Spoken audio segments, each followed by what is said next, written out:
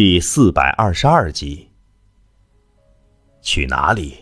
你口中的紧急之事到底是什么事？说。虽然不悦，但是万剑宗宗主还是道。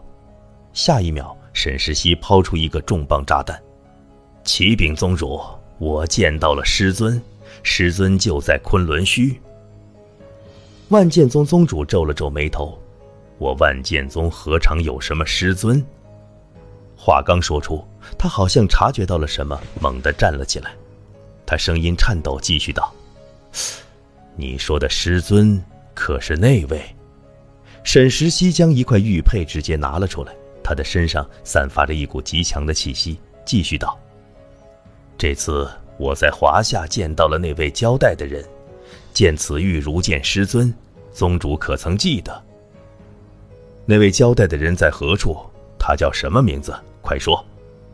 万剑宗宗主一步来到沈石溪面前，更是抓住沈石溪的手，激动道：“此子名为叶晨。”论辈分，是我万剑宗所有人的无上师尊。随后，沈石溪掏出一张符文，逼出一滴精血，闭上眼眸，微微感受。这是叶晨给他的，能够察觉到叶晨现在的位置，方便汇聚。突然，沈石溪脸色大变，眼眸睁开，惊呼出声：“不好，师尊有危险！”万剑宗宗主眸子一缩，冷声道。沈石溪，把话说清楚，什么危险？师尊现在所在何处？当初陈天离降临于此，那阴影依然笼罩在万剑宗。如此绝世强者的徒弟，身份更算得上他的师尊。不管如何，绝对不能让那人在昆仑虚出事，哪怕用整个万剑宗的命运去抵抗。沈石溪不再犹豫，连忙对宗主道：“启禀宗主。”我刚才用秘法感知，师尊就在昆仑虚血盟之地。关键师尊的气息有些虚弱，很有可能受了伤。万剑宗宗主听到这句话，脸色彻底沉了下来。虽然万剑宗不想惹血盟，但是此事涉及到师尊，由不得他了。他五指张开，大殿之上的一柄青剑直接飞到了他的手里，灵气炸裂。下一秒。他目光凝视万剑宗所有人，万剑宗听令，宗门各大护法、长老、弟子准备武器，立刻前往血盟。普天之下，没有人可以动我们的师尊。是宗主。一道惊天声音响彻云霄，无数道身影快速向着一个方向掠去。久久没有关闭的万剑宗大门第一次合上。一支浩浩荡荡的队伍向着血盟之地而去，足足百人。每人背后有着一柄长剑，杀机凛然。以剑为宗，他们今日还要用背后的剑杀出一条血路。昆仑虚几家，纪思清在院子里来回的踱步，神色忧虑。纵然他实力再强，天赋再高，有些东西根本无法抗衡。他在武道一途堪称光明大道，无数人敬仰和羡慕。但是在真正的生死之前，却没有任何反抗的能力。虽然家族的神医将父亲的问题暂时稳住，但是这几天下来，他发现父亲身上的死气不断蔓延，后果只会越来越严重。如果再找不到那叶世天，亦或者纪林带不回林清玄的弟子，父亲会很危险。可是叶世天自从上次在醉仙楼出现过一次后，就再也没有了动静，仿佛人间蒸发。他动用几家的所有力量去寻找叶世天，几天下来根本没有结果。他的拳头微微握紧，一股无形的气浪散发开来，地面更是出现了一道道裂痕。这是他第一次心中产生了无力之感。突然，一个几家下人连滚带爬的跑了进来。林小姐回来了，她带着林清玄后人回来了。听到这句话，纪思清眼眸诧异了几分。纪林居然成功了，难道是那颗金丹的作用吗？不再多想，他化为一道残影，宛如清风拂过，瞬间就出现在了纪家大殿。而此刻的纪林和林如海也是快步走了进来。纪林当看到纪思清，连忙冲了过去，小小的身躯直接跳到了纪思清的身上，甚至将自己的头埋到纪思清那柔软之上，很舒服。姐姐，我在外面这么多天都瘦了好多呢，不过我可把人带回来了，快夸我！纪林一副等待表扬的样子，纪思清忧愁的脸上出现了一道笑容，将纪林放了下来。摸了摸他的头，随后目光落在了林如海的身上。他本以为纪林请的应该就是清玄峰一般的神医，却没想到直接带回了林如海。林如海在清玄峰的地位可是一人之下万人之上，关键此人有如此大的能耐，为什么会跟纪林出现在这里呢？一颗金丹肯定无法收买。林如海也是一步跨出，弓着身子拱手道。纪小姐久闻大名，纪思清点点头，认真道：“林前辈辛苦了，家父的事情还要有劳您。要不我先为林前辈接风洗尘，再……”话还没说完，林如海便道：“不不不，直接带我去见令尊。叶先生可是给我下令了，治好令尊才是关键。”叶先生，季思清秀眉一颦，在清玄山上。比林如海地位高的似乎只有一位老祖，何况清玄山所有人的姓氏都是林，怎么突然冒出来一个叶先生？不过父亲的安危比一切都重要。季思清做了一个手势，向着纪家深处而去。林前辈，请跟我来。不多时，季思清、季林乃至林如海都来到了一处卧室。卧室的病床上躺着一个中年男子，性命垂危。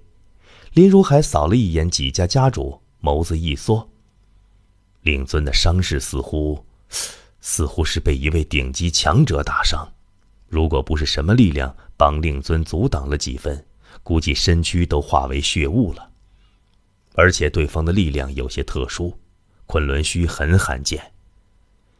听到林如海的话，纪思清清冷的眸子闪过了一丝杀机。林前辈可知何人所为？林如海摇摇头，此事还是要等令尊醒过来再说。况且令尊的情况很复杂，我也不一定能成功，只能暂且试一试。你们先出去吧。纪思清点点头，他自然知道林如海要施展一些秘术，直接拉着纪林向着花园而去。花园中央亭子，纪林抽出一把薯片，刚打算拆开吃，突然想到了什么。将金丹拿了出来，扔给纪思清。姐姐，这东西用不上。纪思清手握金丹，眸子疑惑之极：此丹居然没有用，那林如海为何亲自前来？林如海的脾气他有所耳闻，曾经许多强者去求救，但是对方一概不理，无比傲气。但是眼下是什么鬼？他几家的威名还没强到能让林如海这种人屈尊。纪林看出纪思清的疑惑，嘴角勾勒，笑道：“ 姐姐，你猜猜我这次见到谁了？”纪思清摇摇头：“说吧，这几天到底发生什么了？每一件事情都不得遗漏。”纪林吃了一口薯片，觉得姐姐也太不解风情了，他瘪瘪嘴道：“你就不关心华夏那小子？”听到这句话。纪思清眸子骤然一缩。你说的不会是叶晨吧？当然。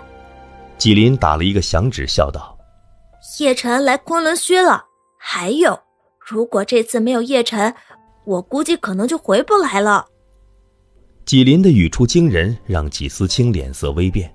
他实在无法联想叶晨和纪林会有什么关联，哪怕两人见面。叶晨的实力在昆仑虚也上不了台面，又怎么救纪林呢？纪林早就想把一切说出来了，继续道：“姐姐，上次我见他是气动境，这次我见他居然是神游境，这突破速度，我怀疑这小子身上一定有奇遇。这不是最重要的，这小子居然还莫名其妙的掌握了阵法，阵法造诣。堪称妖孽，连阵法天才白展元都无法抗衡。什么？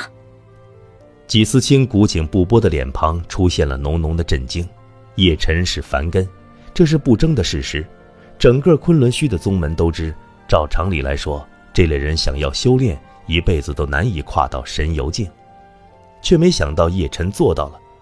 这不是最重要的，叶辰竟然还掌握了阵法，甚至纪林口中还用“妖孽”二字来形容。纪林作为他的妹妹，见过不少阵法天才，自然不会随随便便乱用“妖孽”这个词语。关键还牵扯了白展元，昆仑虚可是有着白展元的种种传说，这三个字更是阵法天赋的代名词。如此说来，叶晨在阵法的造诣绝对骇人。纪思清胸口起伏，一把抓住了纪林的手。从你离开开始说起，事无巨细，我全都要知道。纪林感受到手臂的疼痛，放下薯片，将这几天发生的事情全部说了出来。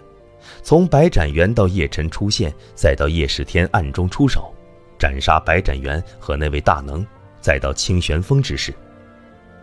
只不过纪林很多事情都是从叶辰口中得知，具体事情叶辰也没有多说。直到现在，林如海为何对叶辰如此尊敬，还是一个疑惑。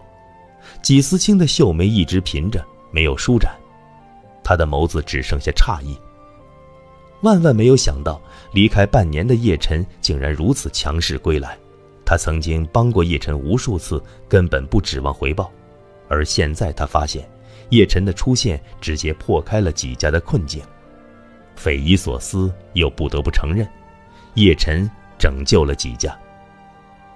这半年，这家伙真的得到了什么奇遇？只可惜，他现在仅仅停留在神游境，他的起点太晚了。哪怕背后真的占着清泉峰和医神门，想要在昆仑虚有一定的话语权，也很难。